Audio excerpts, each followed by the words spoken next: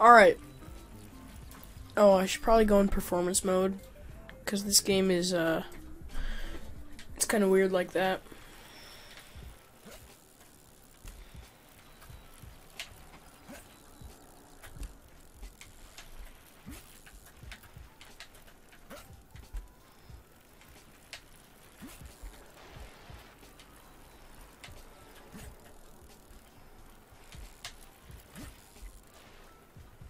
Trying to do a 180. It won't work though. There we go. There we go.